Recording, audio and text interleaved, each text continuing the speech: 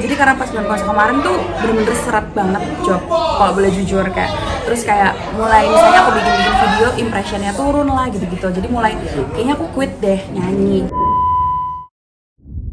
Halo kak, apa kabarnya? baik alhamdulillah Setelah viral mungkin seperti apa nih kehidupan seorang Fadil? Sebenarnya masih sama cuman karena sekarang tuh mungkin lebih banyak yang tahu jadi sekarang kalau keluar udah harus proper. Maksudnya kayak kalau dulu kan sering ke make up gitu gitu kan kalau sekarang karena mungkin banyak yang ngerti Fadila mungkin pengen foto bareng gitu gitu jadi aku kayak kalau keluar tuh lebih rapi aja sih gitu Jadi lebih ke penampilan ya sekarang sudah lebih yang paling signifikan mungkin ke mana pun harus pakai makeup atau kayak gimana? Sebenarnya enggak juga sih kak. Cuman sekarang itu apalagi kemarin waktu kita ke Malaysia itu responnya sangat positif sekali. Jadi banyak aku juga kaget sih kenapa orang-orang kok ngeh gitu. Tapi pada panggilin Fadila Dawai gitu-gitu. Jadi karena responnya baik jadi mungkin aku uh, bisa menghargai mereka dengan penampilan yang baik juga Tapi, tapi mungkin eh, yang kita tahu kan Fadila Intan yang sekarang nih, emang dulunya mungkin seperti apa sih kak kakak kehidupan kakak? sebenarnya kehidupannya mungkin sama kayak orang-orang lainnya juga cuman karena dulu tuh aku kan penyanyi di Surabaya cuman sebenarnya job juga nggak gitu banyak sebenarnya. Jadi sebenarnya aku aktifnya tuh di sosial media kayak YouTube terus TikTok gitu. Jadi kehidupan aku ya bikin konten gitu-gitu sih kak. Dan yang dulunya aku nge-cover lagu orang terus ternyata sekarang banyak sekali nih penyanyi yang cover lagu aku itu sangat bersyukur sekali sih dan itu suatu kehormatan buat aku. Tapi job jadi makin lancar kah setelah uh, kamu booming lagunya? Alhamdulillah sedikit-sedikit mulai pelan-pelan gitu banyak visit juga. Kayak akhirnya aku diundang ke sini juga kan kayak siapa? Dila cuma konten creator biasa tapi akhirnya dengan suara aku aku bisa ke sini Tapi kalau dari infonya kakak ini eh, guru, apakah benar itu? Nah, itu sebenarnya udah bertahun-tahun yang lalu waktu aku SMA terus kayak dikasih kesempatan buat ngajar anak-anak kecil. Jadi sebenarnya aku bukan main profesi gitu loh. Tapi kayak karena dikasih kesempatan jadi ya udah. Guru apa tuh? Itu kita ngajarin ngaji karena aku di sekolah Islam kan jadi kayak eh, ada kayak prakteknya gitu tapi lumayan lama berbulan-bulan Tapi mungkin anak muridnya gitu setelah ngelihat kakak viral sekarang. waduh kayak aku nggak hafal deh yang mana muridnya kayak udah lama Udah banget lama banget. Eh dari lingkungan sekitar teman-teman ngelihat kakak viral sekarang, apalagi eh, banyak di cover orang-orang gimana kak?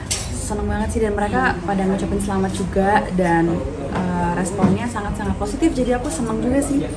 Tapi mungkin kakak sendiri kan eh, di cover nih sama banyak artis juga sama salah satunya sama Siti Nurhaliza. Gimana kak rasanya? tadi malam tuh aku sebenarnya nggak buka storynya Kak Siti Nurhaliza cuman ternyata ada yang screen record terus kirimin ke aku seneng banget sih. Kayak kalau udah di cover sama Kak Siti Nurhaliza itu kan kayak wow berarti emang lagunya tuh bagus gitu. Jadi aku seneng aja sih. Kak, kan sekarang banyak orang Indonesia tuh uh, menyanyikan lagu di cover. Terus mereka juga bilangnya uh, minta uangnya dong kalau misalkan uh, makin viral. Lagu kamu kan juga banyak banget akhirnya di cover. Akhirnya gimana? Kamu sebagai penyanyi sendiri melihat orang-orang seperti itu gimana? Um, kalau aku sih justru seneng ya di cover gitu. Jadi sebenarnya dari aku, dari pihak uh, Resonate juga yang ciptain lagunya itu sangat-sangat senang sekali lagunya di cover. Selama itu diupload di YouTube platform itu kita benar-benar senang banget. Mungkin kalau misalnya mau diupload ke Apple Music atau Spotify mungkin harus ada license atau izin gitu sih. Tapi selama cuma di YouTube dan di media sosial lainnya sih kita seneng banget bahkan terima kasih banyak.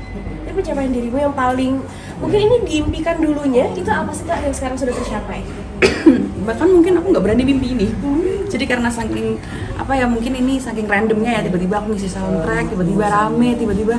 Karena kita sendiri pun dari pihak aku sama Resonate kita tuh nggak yang punya strategi mar- marketing yang gimana-gimana gitu.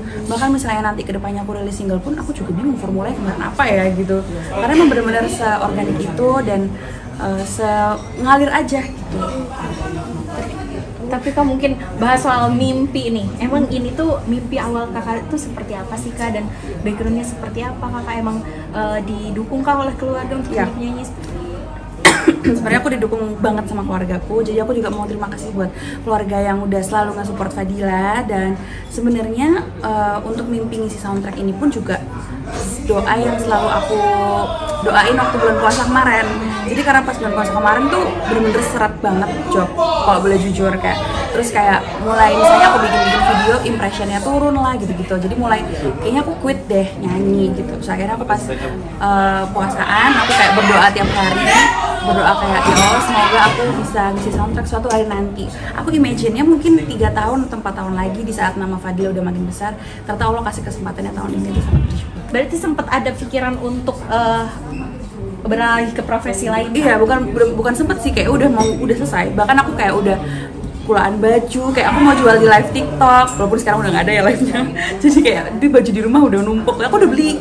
Terus kayak aku mau ngapain ya? Kayak apa aku kerja kantoran aja? Kayak mulai bingung gitu loh kak mau banting setir ke mana. Tapi ternyata ada rezeki ini dan ternyata diizinkan Allah buat nyanyi lagi.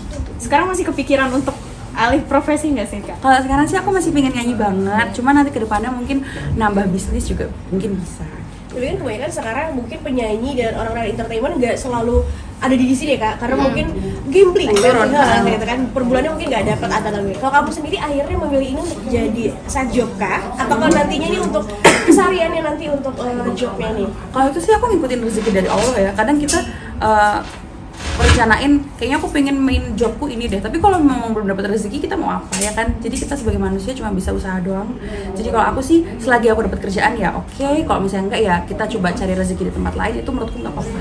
Sehari mungkin sekarang atau per minggu sekarang udah paling eh, rame nih jobnya berapa kali nih kak? Sekarang sih sebenarnya belum job off air yang rame banget itu belum sih kak. Sekarang sih media visir karena aku tinggal di Surabaya. Jadi kalau misalnya aku ke Jakarta kayak gini, aku selalu spare waktu seminggu dua minggu buat aku padetin jadwalnya gitu sih. Dan aku di Surabaya aku istirahat, aku main-main dulu, ntar balik lagi sini gitu. -gitu. Mungkin sehari eh, sekarang berapa kak mungkin? Atau Media di eh, media visitnya? Kalau kemarin sih setiap hari ada kayak gitu, cuman kayak ada yang sehari dua kali, ada yang seka- sekali kayak gitu. Oke. Dari orang tua ngelihat eh, kakak yang sekarang udah mulai rame jobnya lagi kan as- mendukung nih dia mungkin seperti apa kak? Seneng sih mama sama papa, cuman pesennya kayak harus tetap rendah hati, harus tetap menjadi Fadila yang sekarang, jangan sampai terbang kena angin gitu, pokoknya harus tetap keep humble gitu-gitu sih kalau pesannya mama sama papa. Terakhir kak, mungkin kan orang-orang zaman sekarang tuh gampang naik, gampang turun lagi. Gimana caranya kamu memaintain mungkin para fans, masyarakat yang bisa kenal kamu terus sampai nanti gitu? mungkin dari konsistensi aku bikin konten di YouTube ya. Jadi sebenarnya kan ini bukan kali pertama aku nyanyi gitu kan. Dari kemarin-kemarin aku bikin-bikin konten dan bahkan uh, kenapa aku akhirnya bisa nyanyi di soundtrack pun tuh karena produser filmnya nonton cover aku kayak gitu. Jadi mungkin yang bisa aku lakukan ya mungkin untuk sekarang ngeluarin karya-karya aja sih single-single gitu dan ke depannya kalau ada rezeki mungkin bisa ngeluarin album kayak gitu sih. Penasaran, fans udah udah sampai ngasih apa mungkin yang sampai kayak wow banget akhirnya kamu dapat. Um, sebenarnya kalau hadiah secara fisik aku nggak yang terima-terima banget gimana-gimana, cuman mereka cover aja menurut aku tuh udah hadiah sih. Mm-mm. Followers meningkat berapa mungkin kak setelah viral? Um, lumayan sih kak, karena kan kalau naikin followers Instagram kan susah ya se- sekarang. Kalau TikTok kan sekali FYP banyak gitu, kalau Instagram sih lumayan sih, mungkin 50 ribu, 60 ribu lebih mungkin ya kak. Tapi ya itu berkah sih. Oke, okay. aman. Oke, okay. okay. thank you kak. Boleh.